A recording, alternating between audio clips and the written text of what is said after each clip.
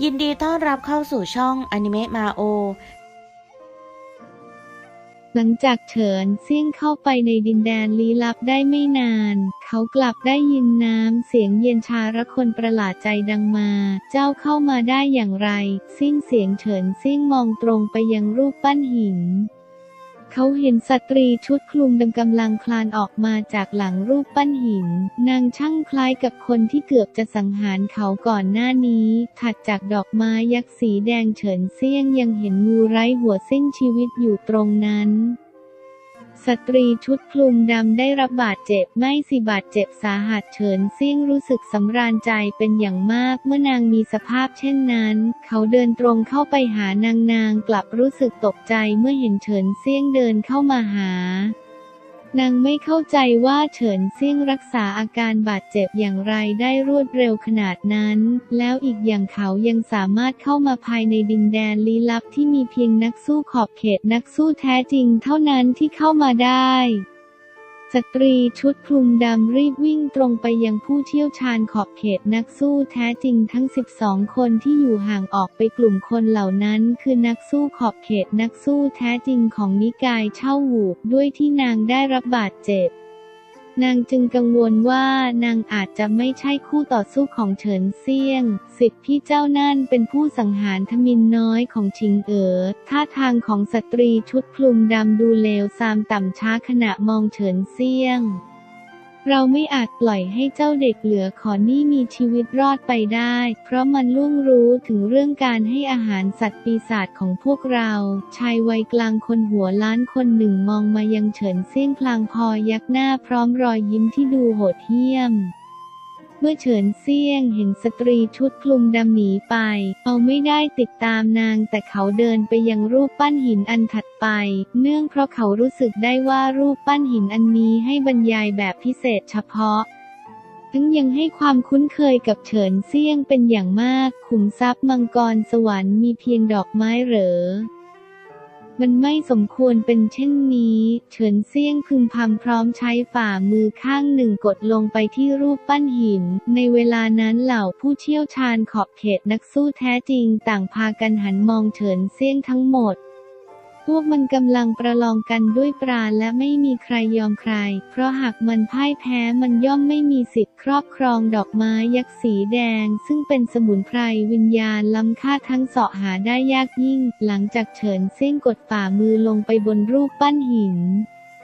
ปราณแห่งมังกรครามพลันพวยพุ่งออกจากร่างของเขาแล้วทะลุเข้าไปในรูปปั้นหินอย่างบ้าคลั่ง ภายในพริบตารูปปั้นหินพลันปรากฏแสงครามสาดประกายไปรอบด้านทำให้เหล่าผู้เชี่ยวชาญตกตะลึงเป็นอย่างมาก เนื่องเพราะก่อนหน้านี้พวกมันต่างสัมผัสรูปปั้นหินเช่นกัน แต่กลับไม่มีอะไรเกิดขึ้นแม้แต่น้อย หลังจากแสงสีครามหายไปหินที่ห่อหุ้มอยู่เปลือกนอกของรูปปั้นพลันหลุดร่อนออกจากรูปปั้นภายในนั้นปรากฏเป็นกล่องสี่เหลี่ยมหนึ่งกล่องภายในกล่องปรากฏเป็นกระบี่ยาวสีดำขนาด 5 ฟุตกระบี่เล่มนี้ดูเก่าแก่คร่ำครึเป็นอย่างมาก แต่เมื่อเฉินเซียงเห็นรูปสลักมังกรที่ดูราวกับมีชีวิตอยู่บนด้ามจับของกระบี่ เขารู้ได้ทันทีว่ากระบี่เล่มนี้ไม่ธรรมดา กระบี่ครามผลานมังกร มันคืออาวุธศักดิ์สิทธิ์แห่งมังกรคราม ส่วนหนึ่งของอาวุธศักดิ์สิทธิ์แห่งสัตว์ทั้งสี่ซูเหมยเหยาตะโกนขึ้นด้วยความประหลาดใจ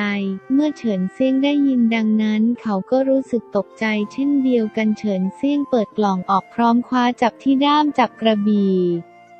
น้ำหนักกระบี่นับว่าเกินเลยจากรูปลักษณ์ของมันมาโข จนกระทั่งร่วงหลุดมือของเฉินเซี่ยงพร้อมฝังลงไปในพื้นดิน กระบี่ครามผลานมังกรน้ำหนักของมันราวกับไร้จุดสิ้นสุด ยิ่งเจ้าของของมันมีความแข็งแกร่งมากเพียงใด น้ำหนักของมันย่อมมากมายเท่านั้น มีเพียงเจ้าของกระบี่เท่านั้นที่สามารถดึงความแข็งแกร่งของมันออกมาใช้ได้ และมีเพียงเจ้าของเท่านั้นที่สามารถควบคุมมันได้ซูเหมยเหยากล่าวเฉินเซี่ยงกับประมาณน้ำหนักของกระบี่ครามผลานมังกร เขาคิดว่าตอนนี้มันมีน้ำหนักเพียงไม่กี่หมื่นจิน ด้วยกระบี่เล่มไม่ใหญ่มากแต่น้ำหนักของมันนับว่าเหลือเชื่อ ทั้งมันยังเป็นถึงอาวุธศักดิ์สิทธิ์นี่ย่อมทำให้เฉินเซียงตื่นเต้นเป็นอย่างมาก ตอนนี้เขาไม่จำเป็นต้องเสาะหาอาวุธวิญญาณมาครอบครอง เนื่องเพราะเขามีกระบี่ครามผลานมังกรที่จะช่วยให้เขาโบยบินในโลกแห่งนักสู้ใบนี้ได้อย่างอิสระ กล่องใบเมื่อครู่ไม่ได้มีเพียงกระบี่ครามผลานมังกร แต่มันยังมีหนังสัตว์สีเหลืองหนึ่งแผ่นและกล่องขนาดเล็กอีกหนึ่งกล่องบนหนังสัตว์สีเหลืองมีทักษะวิชาสลักไว้ และนั่นคือทักษะส่วนที่หายไปของทักษะศักดิ์สิทธิ์ผลานมังกร เรียกว่าเจ็ดสังหารพิฆาตมังกร นอกจากนี้ภายในกล่องขนาดเล็กยังมีเม็ดยาสีแดงเข้ม ทั้งลักษณะของมันยังดูไม่ธรรมดาอย่างยิ่ง หลังจากตรวจดูสิ่งของครบถ้วนเฉินเซี่ยงพลันสัมผัสได้ถึงสายตาที่หื่นกระหายใคร่อยากจ้องมองมาจากกลุ่มนักสู้เหล่านั้น เรากับเฉินเซี่ยงกลายเป็นสตรีเปลือยเปล่าผู้ถูกกลุ่มชายหนุ่มจับจ้องลวนลามด้วยสายตา เฉินเซี่ยงเก็บของทุกอย่างลงในแหวนอย่างรวดเร็วเพื่อส่งให้ซูเหมยเหยาและเปยู่อยู่จัดการกับพวกมันต่อไอเด็กเหลือขอ ของทั้งหมดพวกนั้นไม่ใช่ของของเจ้า เจ้าจงนำมันออกมาให้หมด ชายหัวล้านตะโกนขึ้นมันคือสิทธิของสตรีชุดคลุมดำ เฉินเซี่ยงยิ้มเย้ยพลางกล่าวเหตุใดข้าจะเอามันไปไม่ได้เล่าข้าเป็นผู้พบมันอีกอย่าง ไม่มีกฎข้อไหนที่กล่าวว่าเจ้าเป็นผู้เดียวที่สามารถค้นหาสมบัติภายในขุมทรัพย์มังกรสวรรค์แห่งนี้ได้ คิ้วของสตรีชุดคลุมดำขมวดแน่น นางชักกระบี่ยาวออกมาพร้อมเดินตรงเข้าหาเฉินเซี่ยงอย่างช้าช้านางเคยทำให้เฉินเซี่ยงได้รับบาดเจ็บมาแล้ว นางก็ทราบถึงความแข็งแกร่งของเฉินเซี่ยงดี เพียงแต่นางยังไม่เข้าใจว่าเหตุใดเฉินเซี่ยงจึงมาที่นี่ ยังมีสิ่งหนึ่งที่นางมั่นใจคือเฉินเซี่ยงไม่ใช่ผู้เชี่ยวชาญขอบเขตนักสู้แท้จริง มิฉะนั้นนางย่อมไม่สามารถเอาชัยทั้งยังทำให้เฉินเซี่ยงต้องหนีหัวซุกหัวซุนได้เช่นนั้น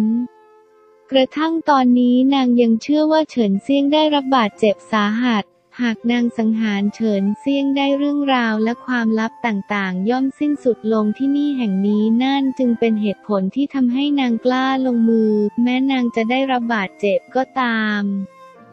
ห้าห้าสมบัติทุกชิ้นในที่นี้เป็นของพวกเรานิกายเช่าหูชายวัยกลางคนอีกคนหัวเราะอย่างบ้าคลั่ง ดูเหมือนนิกายเช่าหูจะมีนักสู้ขอบเขตนักสู้แท้จริงมากมาย